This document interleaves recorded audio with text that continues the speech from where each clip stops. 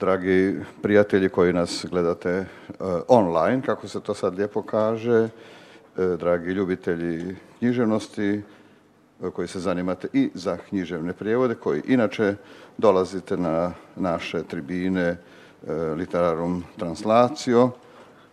Nalazimo se, kao što znate, u knjižnici i čitaonici Bogdano Grizović u Zagrebu i eto, za mene, stjecajem okolnosti kao slijepog čovjeka se baš puno toga i nije promijenilo, jer ja mogu zamišljati publiku, a ovako sad zamišljam vas koji nas e, u udobnosti svojih domova pratite i moja gošća i ja učinit ćemo sada sve, a moja gošća je Lara Hölbling-Matković koju ne trebamo posebno predstavljati jer kao prvo iz ovog razgovora ćemo saznati mnogo toga o njoj, a i inače već mnogo toga znamo jer evo stjecajem okolnosti moje gošća ja već 25 godina smo stalno dakle u tim upravnim tijelima Društva hrvatskih književnih prevodilaca koje priređuje ove tribine pa ćemo danas razgovarati o književnom prevođenju i to baš iz posebnog rakursa naše gošće,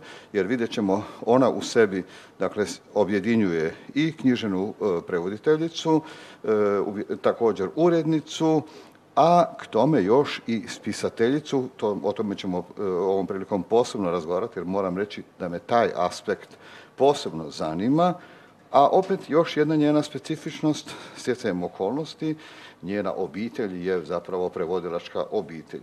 Jer tu je i njen e, suprug, naš e, dragi član, e, inače ugledni naš amerikanist i prevodilac dugogodišnji kojega sada isto pozdravljamo, a tu je opet i podmladak, dakle njena generacija, Hana, dakle njena kći, dakle mlađa generacija prevodilaca, najmlađa generacija, je to je naša Hana Greta Matko, pa i nju pozdravljamo.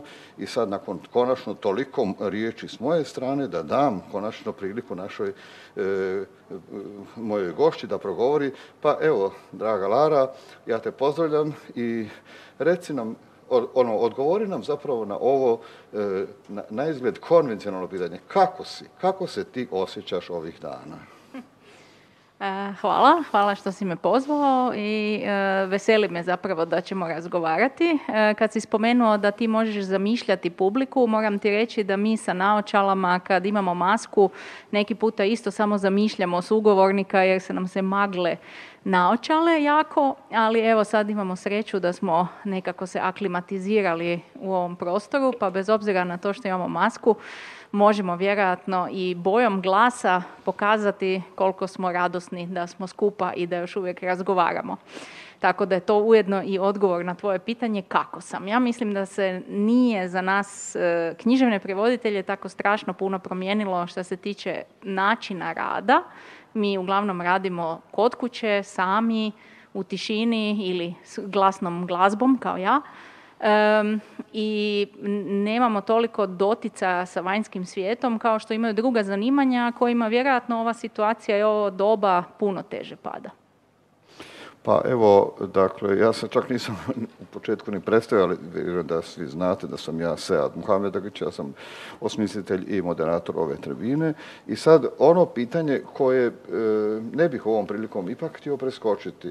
Reci nam, Lara, kako se uopće ti završila u ovim prevodilačkim vodama? Mislim da tu, e, da je već ipak e, bilo nekih naznaka da bi se to, to moglo dogoditi. Kako, kako se to zapravo zbilo?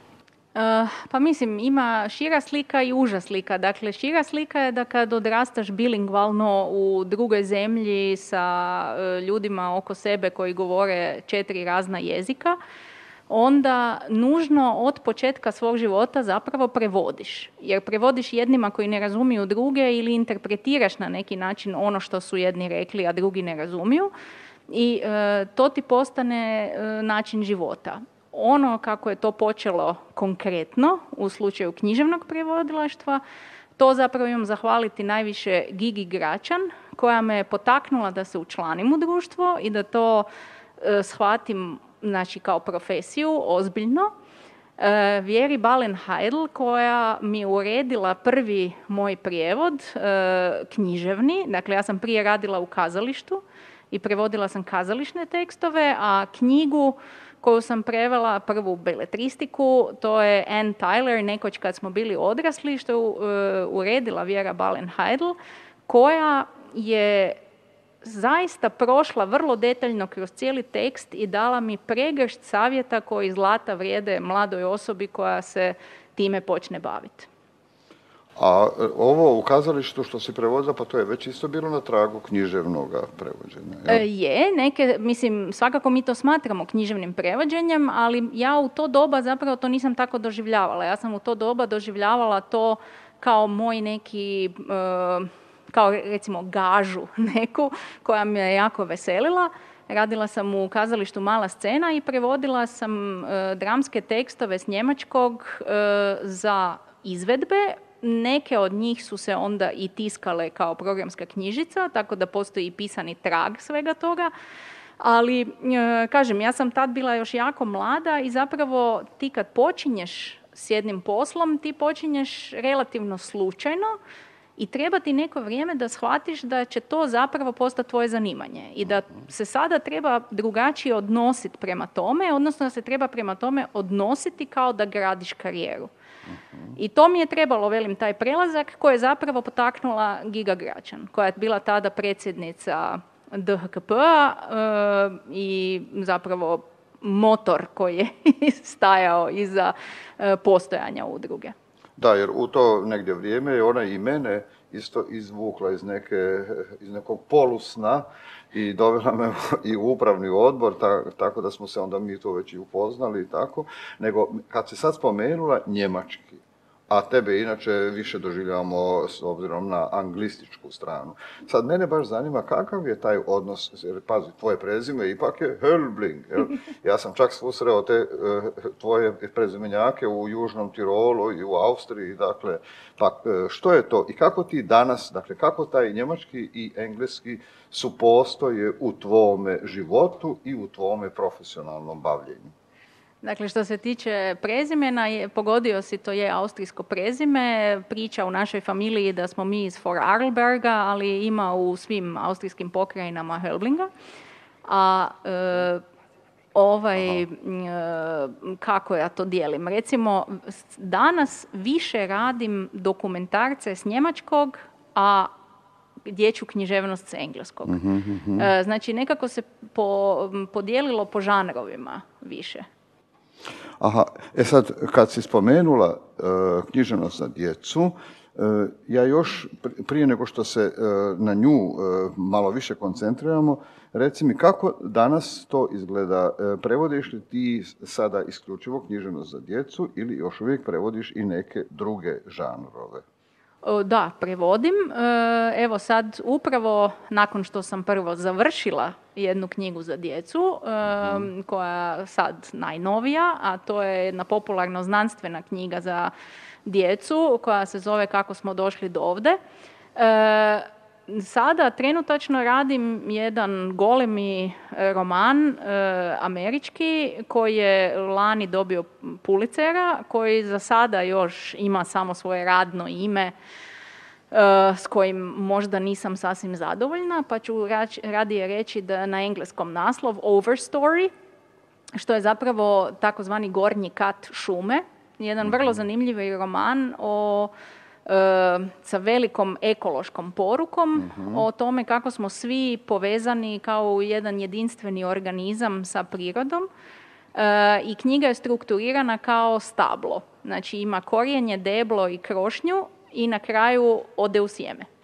a kako će to čitatelji, recimo, kako će znati šta je korijen, šta je stablo i tako? E, tako, su, tako je strukturiran roman, znači pojedina, pojedini dijelovi romana mhm. se zovu po dijelovima stabla i onda unutar toga idu poglavlja. E, roman je dosta zahtjevan, dosta velik. Znači zahtjevan je i po veličini, e, ima preko 500 kartica, što mhm. kod e, teškog teksta zapravo ima ulogu. E, njegova dužina, te isto tako ovaj, stvara neku napetost, recimo raste adrenalin kroz to što to radiš, kao i sama tema i težina stila. Sam ja možda prečuo ime autora ili... E, ne, nisi prečuo, ovaj, nego sad sam trenutačno ovaj, se tako e, koncentrirala na opis romana da sam zapravo preskočila. Njegovo ime je Richard Powers. Aha. I on je zapravo jedan jako poznati američki pisac ko, za kojeg tvrde da nikad ne može napisati dosadnu knjigu, što je dosta e, lijepo kad e, ti to kažu, da ti svakih nekoliko godina zapravo proizvedeš neku knjigu koja je potpuno različita od one tvoje prijašnje. Dakle, on svakako nije pisac koji ponavlja svoje obrazce, ovaj, i, e, a, a opet je kritika s njim silno zadovoljna da svaki put ih iznenadi zapravo koliko je on zanimljiv. E, meni ime nije nepoznato, jer autor ima dobru recepciju u E, njemačkom, na njemačkom govornom području, a jer ja se općenito zapravo o svim prijevodima više informiram preko te njemačke strane, jer to mi je nekako lakše, lakše dolazim tu do svih mogućih podataka i više slušam njemačke i austrijske radio programe i tako. Nego sad, e, da, da ne bismo predugo ostali u ovom našem pripovjedanju, e, mi smo rekli da ćemo i s nekoliko ulomaka iz tvojih prijevoda, pa evo, što bi nam ti sad recimo pročitala u ovoj prvoj, e, u ovakvom prvom predahu? E, pa rado bi zapravo pročitala e, prvi odlomak prve, prvog romana koji sam prevodila. Ovo je spomenuti koji je Vjera Balen uredila. Mhm. Zato što je zanimljivo, ja sam tada imala, ja mislim, jedno 25-6 godina kad sam to radila. I doživljavala sam ovu gospođu koja je glavni lik romana kao vrlo zapravo već zrelu, neću reći sasvim staru ženu, ali mhm. sam ju doživljavala kao onako bakicu. Aha. a sad ćeš vidjeti što kaže prvi pasus. Evo, baš me zanima. Bila jednom jedna žena koja je otkrila kako se pretvorila u krivu osobu. Tada je već imala 53 godine. Bila je baka punašna, mekana i s jamicama na obrazima, te suhom svjetlom kosom koja joj se poput krila od razdjeljka na sredini gotovo vodoravno stršala na obje strane. Bore od smijanja u kutovima očiju. Komotna i šarena odjeća u stilu koje je već opasno vukao na beskućnički. Valja joj odati priznanje. Većina ljudi njezine dobi rekla bi kako je prekasno za bilo kakve promjene. Što je, tu je, rekli bi. Nema smisla mijenjati stvari u tom kasnom času. Rebeki je doduše palo na pamet da to kaže, ali nije. Evo, ovo je ujedno knjiga koja me zapravo podsjeti i na jedan e, prijepor koji se obično e, vodi između prevoditelja i urednika, a to je treba li fusnote ili ne. Aha. Znači ja sam zastupala u tome da ne treba nikakve fusnote jer ne znaju ni američki čitatelji sve što unutra piše, ali vjera me razuvjerila. Mhm. i e, ipak smo stavili onda neke fusnote koje ona odredila e, gdje je smatrala da će se tekst bolje približiti domaćem čitatelju. E, ja sad moram reći da upravo ja počeo uživati pratiti te ovaj, strukturu kad ono prekid. Ali moram reći koja mi je misao ipak pala na pamet spomenula si jamice one, a ja se sjetio one pjesme gdje e, kod Olivera Dragojevića se pojavljuje da je imala jamice na bradi. Uvijek sam mislio, joj, samo da mi te jamice ne dođu, ovaj, da moram to prevoditi. Ne? Dobro, ovaj, vidjet ćemo šta ćeš, čime ćeš nas kasnije ovaj, još obogatiti. A sad, e, ako si možda nisi primijetila, kad si ti prvo rekla dječja književnost, a ja sam u svojoj replici rekao književnost za djecu. Naime, to je e, nešto o čemu se mnogo razgovara, pa mene sad isto zanima kako, e, kako, ti, kako ti gledaš sad kao i s obzirom na iskustvo i prevođenja i uređivanja, kako bi tu književnost zapravo trebalo zvati? Pa mislim, s obzirom e, na to da smo imali tribinu koja se zvala Dječja književnost nije dječja igra, E, tu smo naglasili zapravo baš to da ljudi kad čuju dječja misle da je to nešto s jedne strane djetinjasto, mhm. pa i neozbiljno i mhm. to nije za ljude koji ozbiljno grade svoju karijeru. A s druge strane je dječje isto nešto što je silno lagano, za šta treba sigurno manje financija. To smo već doživljavali u kazalištu za djecu i mlade, ovaj, gdje je uvijek bila e, naša nekakva šala da institucije koje podržavaju naše programe očito misle da da reflektori za djecu manje koštaju i da pozornica manje košta i da vjerojatno i struja za kazalište i grijanje manje koštaju jer je eto dječje kazalište. Pa tako i za dječje knjige ovaj, obično se smatra da prevoditelji koji se time bave to rade ljevom nogom, nije teško, e, šta tu ima nekakvih par sto riječi, možda e, u nekim slikovnicama nemaš ni 40 riječi. Evo tu na stolu recimo imamo jednu silno zanimljivu slikovnicu australskog autora e, Shona Tana koja se zove Crveno stablo, koja je e, slikovnica sa možda 4-5 riječi na svakoj stranici, a slikovnica zapravo govori o osjećaju totalnog beznađa, o depresiji, o e, tuzi, kad imaš osjećaj da se nemaš čemu zapravo u toku dana veseliti, kad te pritišću razne tjeskobe i strahovi sa svih strana, pa ti sad reci da li je baš dječje i djetinjasto prevoditi nešto gdje ti u pet riječi moraš izreći ono što je autor rekao na svom engleskom jeziku, koji može biti naravno sasvim se može drugačije shvatiti jer jedna riječ u engleskom može biti imenica i glagol e, i tako dalje i da ostaneš u hrvatskom u tom strašno škrtom zapravo izričaju, da ti kažeš to u četiri, pet riječi, a da opet pogodiš baš onako što se kaže u sridu mhm. značenje tog nekog e, izraza, a da ne govorimo o tonu knjige koji zapravo mora pokazati koliko je to sve tjeskobno do zadnjeg časa. E, ja kad ovo slušam što ti govoriš, onda mi pitanja naviru i vidim kako se čak pitanja svađaju međusobno koje bi prije došlo na red. Ne? Pa ja onda tu moram reći, dobro, sad ti se strpi pa čekaj pa ćeš doći na red.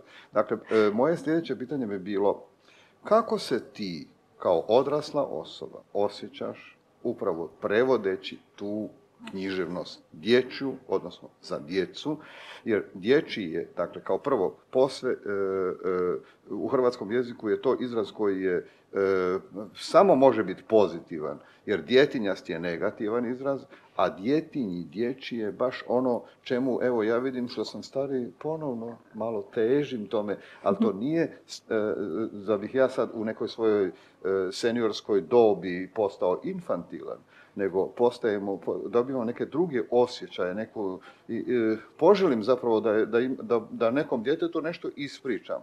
I sad me zanima dok ti to prevodiš, kako ti, koje, koja je to, dakle, e, koji su to registri osjećaja koji prolaze tvojim bićem dok ti na tome radiš? Dakle, ja, sam, ja bih rekla da sam jako puno u dijalogu sa sobom kad sam bila dijete ja sam jako puno čitala knjige ne samo za djecu, zahvaljujući knjižničarki koja mi je omogućila da čitam i recimo izvan tog, tog kruga knjiga za djecu i mlade. I znam da sam doživljavala, dakle, postojale su knjige koje su mi strašno puno značile jer su mi zapravo bile svojevrstan prijatelj. I ja se pokušavam i u svom uredničkom poslu zapravo voditi time da e, dijete knjigu će pročitati 40-50 puta, znači ju na pamet. Govorit će roditeljima da pogrešno čitaju ako oni se začitaju nekako ili već na pola spavaju. Dijete zna točno gdje je roditelj pogriješio kad mu čita. E, Znači, stalno pokušavam zapravo razmišljati o tome prvo da izaberem knjigu koja će djetetu biti taj dobar prijatelj s kojim će provesti 40-50 puta u toj igri, a drugo da onda to tako izvuči. Znači, ja mislim da ne bi trebalo bježati od teških riječi i mhm. teških koncepata za djecu, jer djeca su otvorena svemu. Znači, njima je sve novo i nepoznato. Drugim riječima treba im ponuditi. Ona ako e, će to, ako to prime, možeš iz toga razviti dijalog, a ako ih to ne zanima, ona će jednostavno preći preko toga, neće se tu sada, na, neće ih odbiti to čitanja što nisu znali jednu riječ ili jedan koncept mhm. koji se iza nečega skriva. A s druge strane, kako će naučiti svoj jezik ako im ne ponudiš raskoš? Evo sad, prije nego što te nastavim pitati nešto opet iz ove uredničke perspektive, jedno pitanje toliko je e, ono već navalilo da sad ono naprosto mora e, doći na red. A to je, naime, e, stjecajem okolnosti ja kao slijep čovjek sam se često našao u nekakvoj, na nekakvoj vjetrometini između riječi i slike. Pa onda čujem recimo ovakve neke izjave, ma kakva slika tisuću riječi. Onda se ja poborim pa kažem, mislim da ipak to nije baš tako, da to ovisi kakve su riječi. E sad, zanima mene što ti o tom misliš. Prevodiš slikovnice i tu se riječi i slika, slike su dakle u opet jednom posebnom suodnosu. Što bi ti onda rekla?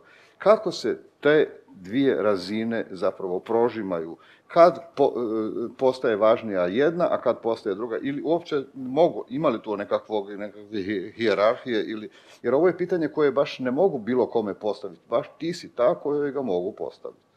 E, mislim da postoji, ne bih rekla da je nekakvi, e, nekakva opreka između riječi i slike, nego više jedan suodnos da e, ti si i sam rekao na početku ovog razgovora da ti možeš publiku zamisliti. Da. I ja mislim da je tako i s djecom, da zapravo djeca mogu svašta zamisliti šta im nedostaje. Nekima će nedostajati više u tim riječima, pa će im slika pomoć da nešto zamisle, Nekima je obrnuto. Ja recimo nikad nisam bila pretjerano vizualni tip zato što isto slabo vidim e, i, i uvijek je zapravo taj vid meni bio zadnje. Meni je recimo sluh, pa glazba mi je važna, uh važno mi je kako zvuči rečenica e, i, i uvijek mi je to čitanje zapravo bilo važnije od gledanja slika. I, mislim da sam uvijek, da mi je slika zapravo uvijek samo bila jedan poticaj da si ja zamislim još riječi tamo gdje je možda bio već kraj Aha. neke priče. Ali mislim da ima jako puno djece koja su upravo obrnuto reagiraju i da njima te slike zapravo znače jako puno. Uh, jer uh, riječi, kažem, neki puta i ne razumiju, pa im slika objasni. Mhm. Neki puta roditelj ne čita dovoljno ekspresivno pa si dijete s tom slikom svašta još može zamisliti šta e, nije naučio, a neki puta je slika jednostavno divno polje gdje ti možeš sada dalje razgovarati s djetetom o raznim detaljima, o bojama, o tome šta ono vidi kad vidi tu sliku. Može pokušati naslikati nešto što je slično tome ili, ili svoju interpretaciju tih riječi. Mislim da jako puno možeš napraviti sa slikovnicom ako ju ne doživiš samo kao nekakvu, što bojim se mnogi ljudi tako doživljavaju, kao igračku. Slikovnica nije samo igračka, dakle slikovnica je svakako nešto što razvija dječju maštu u, do krajnjih granica. E, moram reći da si me baš ovim pitanjem si me obradovala i sad ima jedno pitanje koje je već iz, e, negdje proizišlo iz ovog tvoga što si govorila o riječima, razumiju ne razumiju, ali ja sam tom pitanju rekao nek se još malo strpi, doći će ono na red. A ja bi sad volio da e, čujemo sad u ovom trenutku opet jedan ulomak iz nekog prijevoda, a neka svi koji, koji nas sada slušaju i gledaju, nek budu jako napeti i radoznali koje će biti sljedeće pitanje. Eh, ja sam si zamislila, bez obzira na to što smo sad govorili o dječjoj književnosti, da mhm. pročitam jedan ulomak eh, koji isto govori o ženi koja možda nije onakva osoba kakva je mislila da će ispasti. Odnosno u ovom slučaju je to priča iz eh, knjige koja, evo sad sam prvo čitala, znači iz prvog romana koji sam mhm. prevela, a sad ću čitati iz knjige koja je zapravo najuspješnija e, knjiga koju sam prevela, a to su žene koje trče s vukovima, e, mitovi i priče o arhetipu divlje žene, Clarice Pinkole Estes. E, I tu ima jedna jako zgodna priča unutra s kojom sam se ja nekako, baš kad sam prevodila, mi je to dobro sjelo. Možda sam bila u pravim godinama. Uh, jeste li se ikad pitali kako ste uspjeli završiti u tako čudnoj obitelji kao što je vaša? Ako ste ikada živjeli kao outsider, kao ponešto čudna ili drugačija osoba, ako ste samotnjak, netko ko živi na rubu glavne struje, onda ste patili. Pa ipak dođe i vrijeme kad treba otići od svega toga i iskusiti drugačije gledište, vratiti se natrag u zemlju u kojoj živi vlastita vrsta. I sad ide još jedan odlomak i onda nastavlja e, zapravo sa e, pričom o tome kako se to e, dogodi da čovjek živi u zapravo na tom rubu. još malo, ovo je ipak bilo malo prekratko. Da, da, da, evo, sad ću ti ja ispričati priču. Dobro. Kaže, vaša obitelj misli da ste izvan zemaljac. Vi imate perje, oni krljušt. Vaša predođba zabave je šuma, divljina, unutarnji život, vanjska veličanstvenost. Njihova predođba zabave je slaganje ručnika. Ako je to i kod vas u vašoj obitelji, onda ste žrtva sindroma zalutale zigote. Nikad niste čuli za to. E pa, Vila zigota jedne noći letjela nad vašim gradom, a sve malene zigotice u njezinoj košari skakutale su i poskakivale od uzbuđenja. Zapravo ste bili namijenjeni roditeljima koji bi vas bili razumjeli, ali je vila zigota naletjela na turbulenciju u zraku i hop, ispali ste iz košarice nad krivom kućom. Padali ste i vrtjeli se, vrtjeli se i padali i upali ravno u obitelj koja vam nije bila namijenjena. Vaša prava obitelj bila je tri kilometra dalje. Zato ste se zaljubili u obitelj koja nije bila vaša, a koja je živjela tri kilometra dalje. Oduvijek ste željeli da gospodin i gospođa Netković budu vaši pravi roditelji. Vjerojatno su i trebali biti. E, to mhm. mislim da je i odlična metafora za odabir karijere. Aha. Jer mi, e, naime, čovjek e, ne bi smio zapravo misliti e, da cijeli život radi jedno te isto. To je kod književnih prevoditelja naoko tako, ali zapravo mi svaki puta kad uzmeš tekst u ruke, ti radiš jedan sasvim drugačiji posao, sasvim novi posao. E, nikad, dakle, književni prevoditelj iz knjige u knjigu nije ista osoba. I ti kad, se, kad radiš tekst koji ti se ne sviđa, ti se zapravo osjećaš kao zalutala zigota. uh I ja se trudim prevoditi ono što se meni sviđa. Znam da je to svojevrstan luksus, da si to ne može svaki prevoditelj dozvoliti, ali budući da ja recimo e, kako se lijepo u Zagrebu kaže, nadoštuklavam e, svoju mhm. karijeru e, i sa drugim aktivnostima, evo ja recimo onda uzmem to da kad izaberem, naime, kad imam vremena i volje raditi književni prijevod, da onda zaista izaberem ono što je meni sjelo. E, ako je sjelo, neka sjedi, a sad pitanje jedno e, koje svakako ovdje moramo postaviti, a to je Lara Hölblin kao urednica. Kako to zapravo u praksi izgleda kad se onda pojave prevodioci i ti sada tu kao urednica ne možeš zaboraviti to da si prevodilac, a moraš misliti na to da si urednik. I tu onda nastaju procijepi, tu e, može biti i stresa, pa me zanima kako se ti u tim situacijama snalaziš.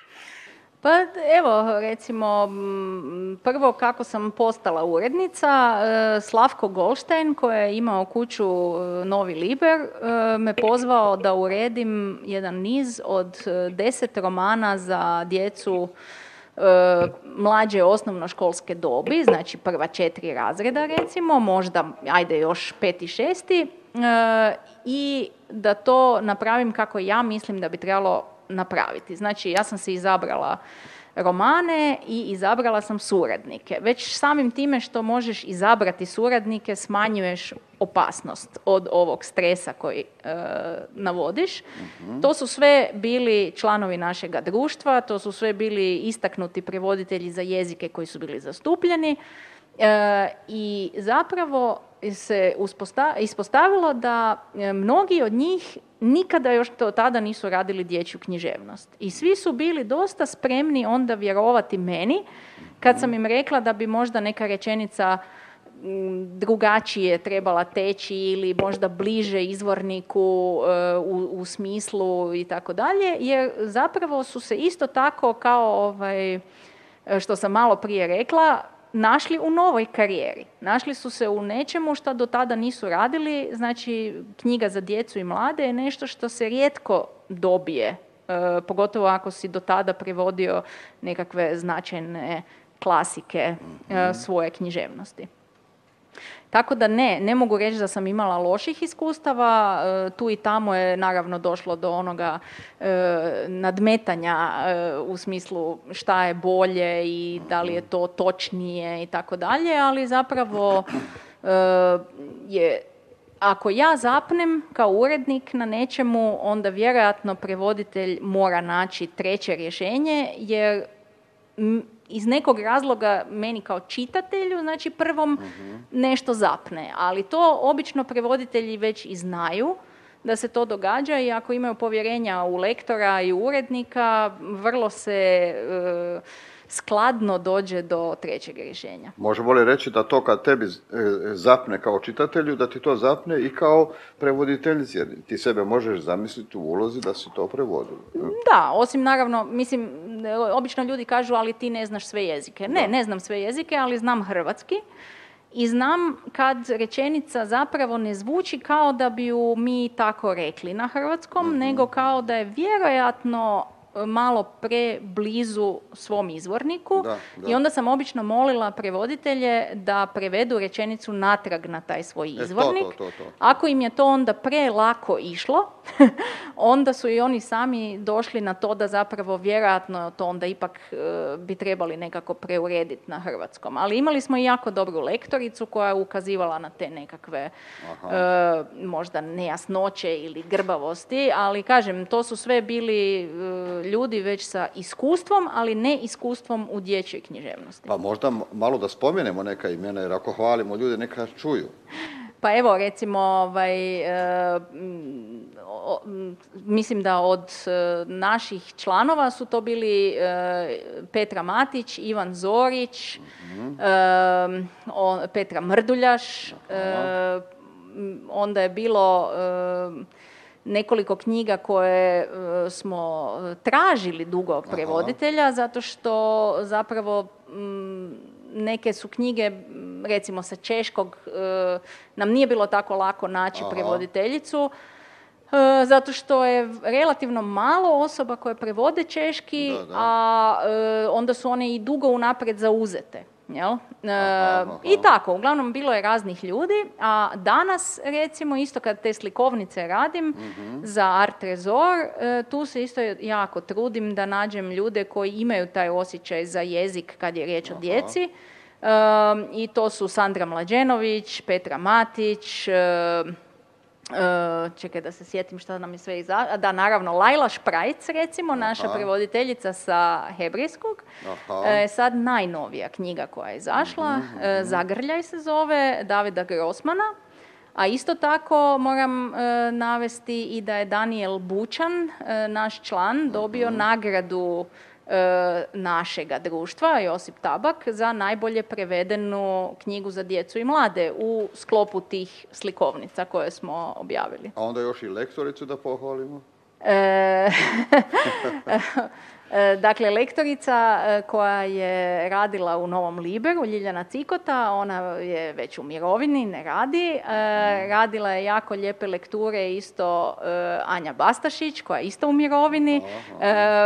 Nažalost se dogodi ta mirovina, znaš, pa ti ljudi odu i više ne surađuju. Ali nađu se i mladi ljudi koji mogu doći na to mjesto. E sad, konačno ono pitanje koje je toliko se moralo strpjeti da dođe na red. Dakle, Lara Hörbling Matković bavi se još nečim osim svega ovoga što je nabrojila. E, sama si već spomenula riječi, pa ne mogu razumjeti pa ovo pa ono.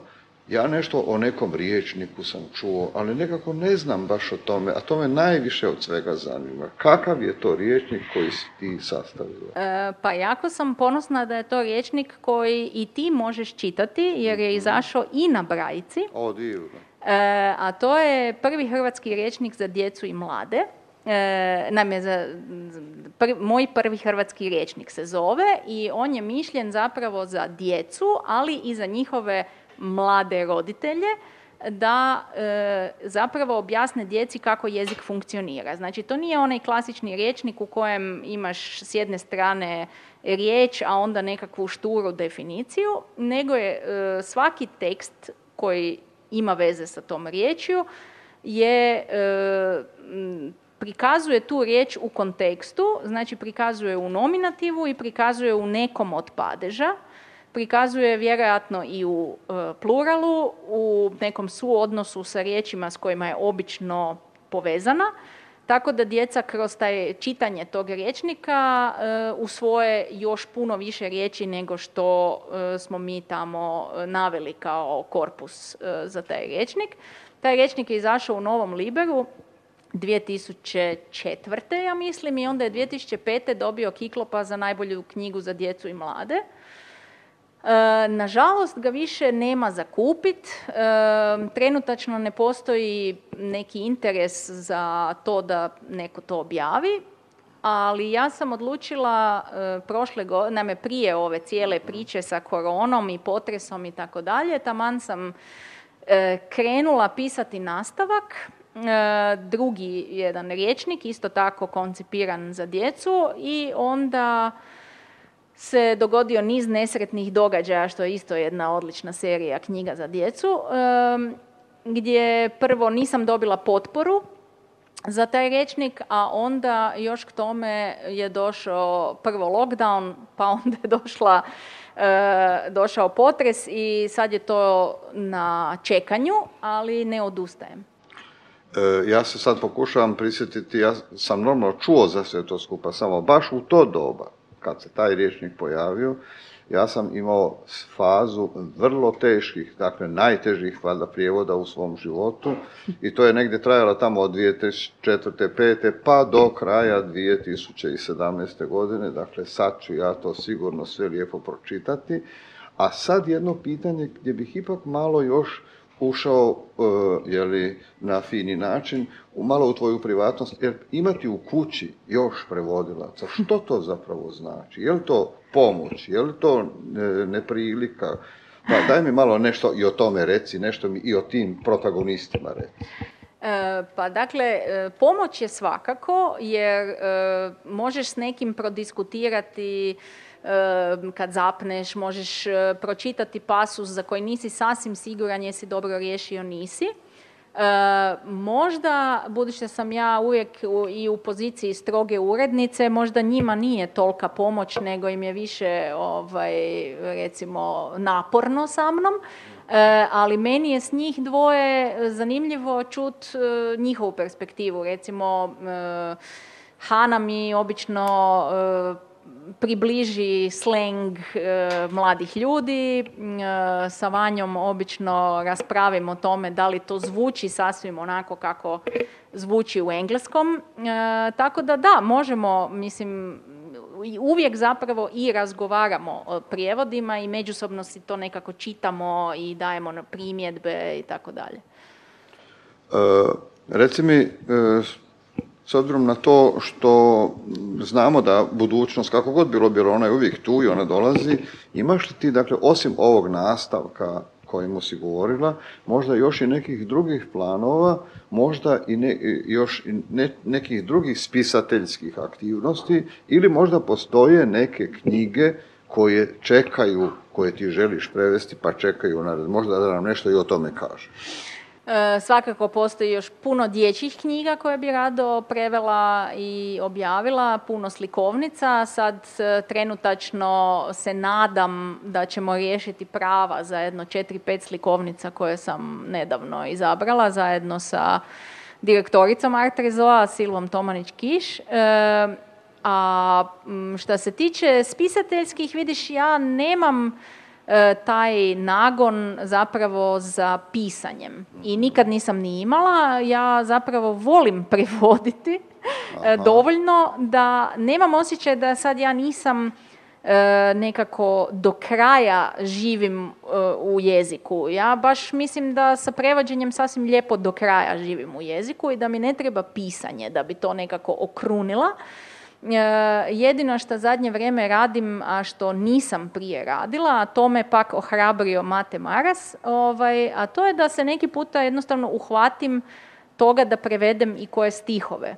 Aha, pa onda kako sam se ipak malo ohrabrila prevoditi stihove, e, tako sam zapravo počela i to čisto iz šale i za prijatelje, pisuckam nekakve smiješne male pjesmice kojima im onda šaljem za rođendane ili takve stvari.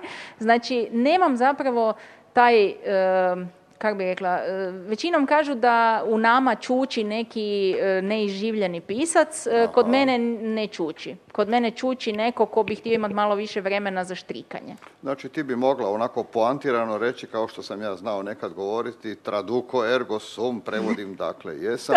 A kad već spominješ Matu Marasa, E, nikakve slučajnosti i prilikom prvog mog dolaska u društvo hrvatskih književnih prevodilaca, dakle, pored mene su se našli Mate Maras i e, Milivoj Telečan i tako su mi rekli, ma ti si ono, to je tvoje pravo mjesto, samo ti se lijepo, nemoj se tu ništa više bojati i tako dalje. Tako su me ohrabrili, a nisu zapravo ništa o meni znali. Valjda su nekako nešto naslutili.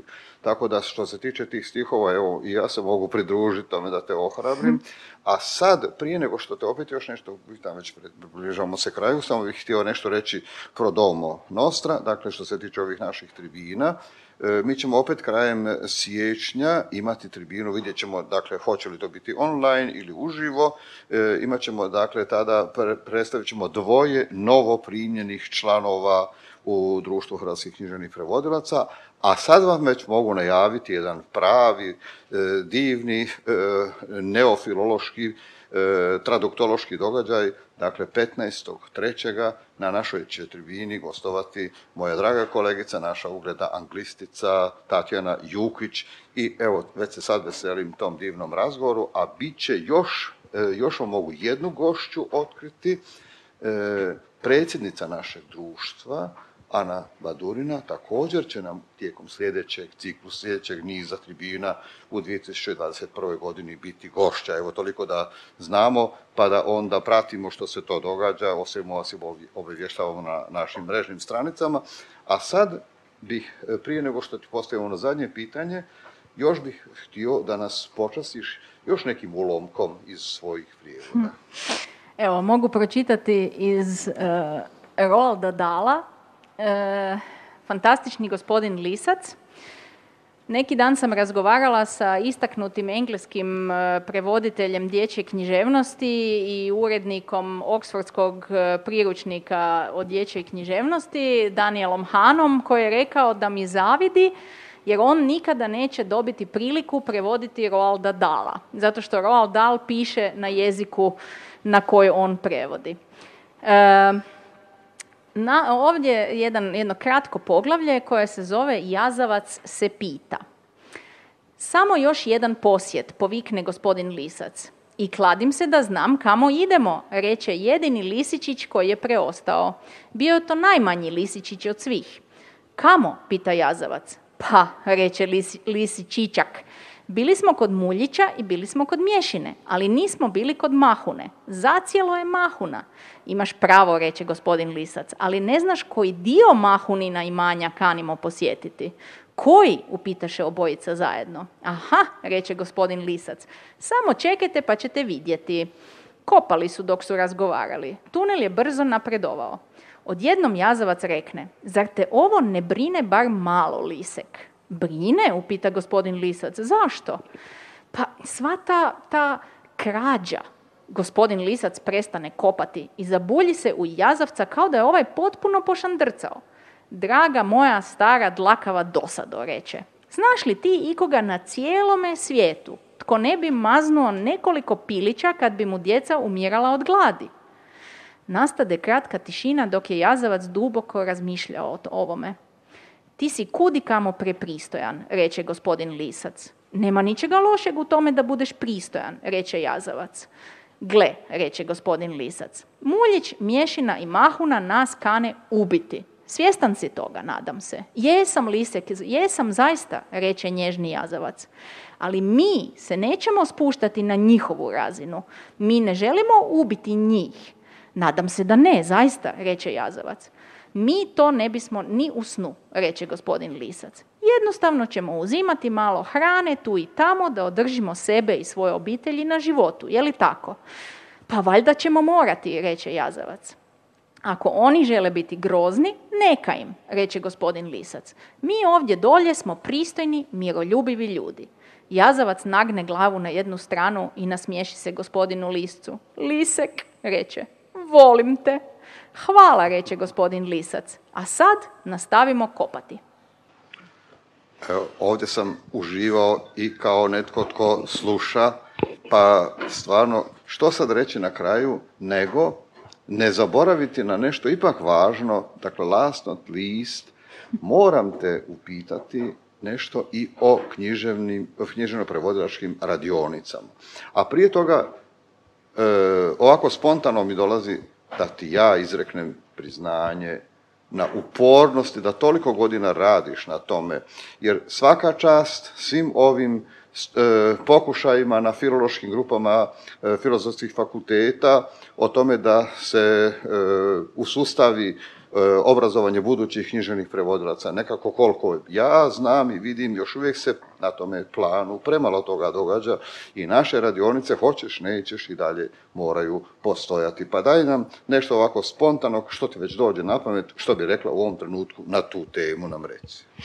E, kad sam spomenula kazalište Mala scena, onda sam se sjetila koliko su zapravo i Vitomira Lončar i Ivica Šimić tu bili e, bitni u mojoj karijeri, jer su oni strašno radili na tome da pomognu mladima koji počinju posao. I nekako sam mislila to je nešto što i mi kao društvo bismo trebali napraviti, da pomognemo mladim ljudima koji se još odlučuju hoće li to raditi, neće, e, da im pomognemo jednostavno da vide kakva je to vrsta posla. I zato naše radionice ne govore samo o tome što je dobar prijevod i, kako, i ne treniraju ih prevođenju, nego govorimo jako puno i o radnim uvjetima, o načinu proizvodnje knjige, o pravima autorskim e, i svim tim nekakvim aspektima našega rada, čak spominjemo i knjigovodstvo i porezne ovaj, propise, e, tako da mladi čovjek zapravo vidi što ga sve čeka u toj karijeri. Jer jedno je voljeti knjige i književnost, a drugo je baviti se aktivno, profesionalno tim poslom kao jedinim zanimanjem.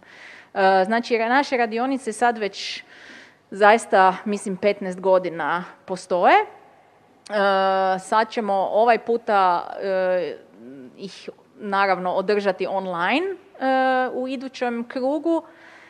Jako me zanima kako će to izgledati jer veliki dio radionice je naravno taj bliski kontakt s ljudima, ali nadam se da ćemo tako, barem ako već moramo ići online, onda ćemo omogućiti ljudima koji zbog geografske udaljenosti inače ne mogu doći, da oni prisustvuju, pa se eto nadam da će to biti posebno uspješna radionica zbog toga.